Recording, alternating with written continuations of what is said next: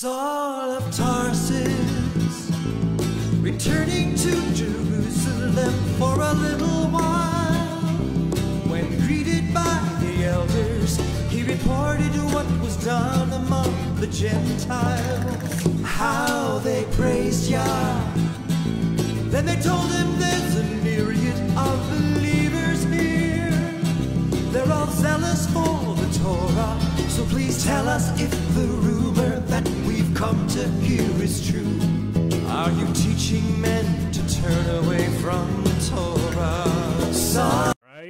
going to continue where we left off, my friends. We're just rolling along here. Amen. So let's continue uh, again where we left off. We was talking about a subject of differences between Messianic Judaism and Christianity. Chris, Christianity. My God, I get tongue tied sometimes on this stuff. All right, so let's continue. We're going to finish off with the final two parts of this article. Again, this is from Jewish Voice, and this was posted a couple years ago, actually five years ago. Wow, I'm looking at it right now. Uh, and then the final part of this article, which again has been up there for so long, that, that's to show you that people are still looking at this stuff and still contemplating what should we do, which way should we go.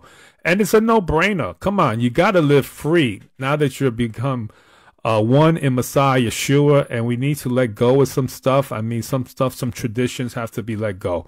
I mean, I think I was talking about this in a video on Facebook, uh, I think a few days ago, and I was talking about this subject and now some of the churches and messianic congregations, and I was trying to hit more of the messianic congregations.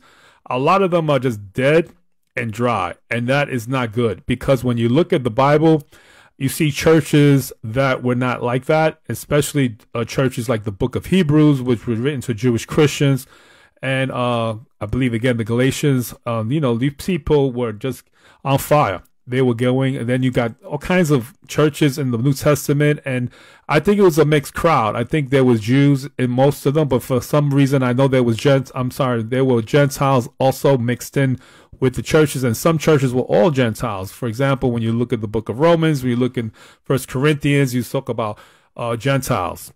However, when you again when you look at some books of the Bible, there is a, a, combination of both. You can tell by the way Paul addresses things. He addresses things because there are people there that understand this. He wouldn't be talking about it to a people that didn't understand what it was about about Jewish laws, culture, uh, observances, and all these things. He he ta- he tackled it because people were there and they needed to hear this it makes a whole lot of sense. Why would you be talking about a subject that no one understood? You talk about things that people that are there, they understand it, and they say, oh, it resonates with my mind. I understand. Why is he saying this? Because we're here. We're Jewish, we're here, and we're mixed in with the Gentiles, and that's what God said to do. We all get together from now on. We don't have to separate. It's a new covenant, and now we're going to follow the Lord Yeshua in one mind, one spirit, and one body the body of Messiah. Hallelujah. Okay, here we go. We got two final points, and the number one point here is dietary laws, and that's another thing that people seem to have a problem with today, especially Messianic Jews. They they kind of hammer people over the head sometimes. Not all, but some people become really, really bad to other people that don't follow dietary laws. For example, it says here most Christians do not observe the biblical commandment regarding dietary practices. These include the avoidance of scavengers of land or sea, with the exception of mammals that both chew the cud and have hooves, like sheep, goats, and deer. For many Messianic Jewish people, the basic biblical commandments found in the Torah are still observed. This observance enables Messianic Jewish people to maintain their God given identities as Jews. Now, listen, I understand what that, that statement, but I don't totally agree with it.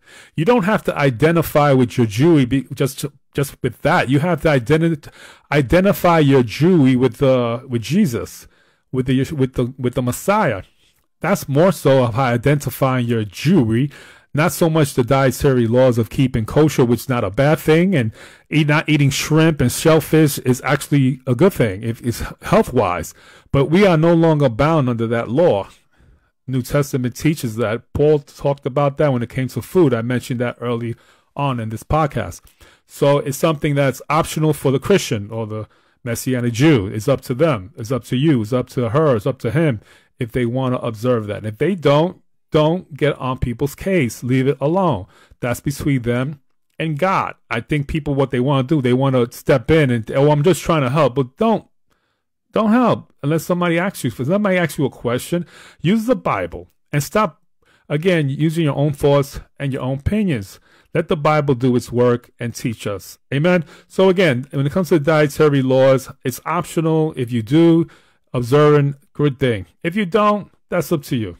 Nobody's condemning you. Okay, because Paul made it clear in the New, New Testament letters what you can do and what's permissible. Listen, stop focusing on the minors and focus on the majors.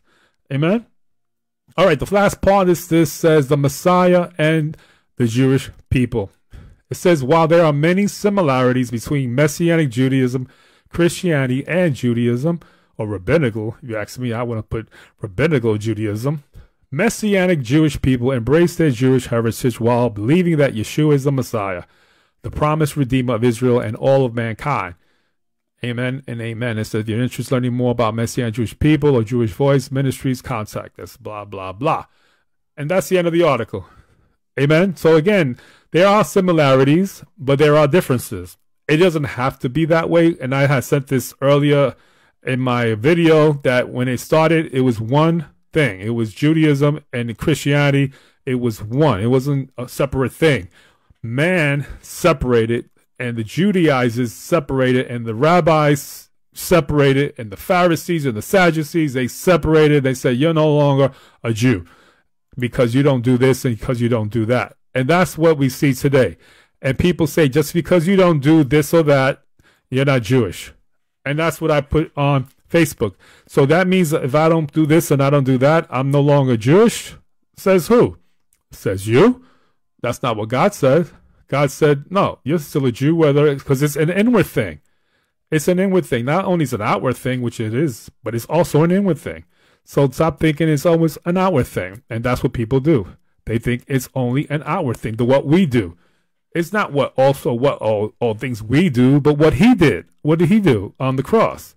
Amen. So let's focus on what he did so much more so than what we need to do. Amen. And I'm right, and we're gonna continue where we left off, my friends. We're just rolling along here. Amen.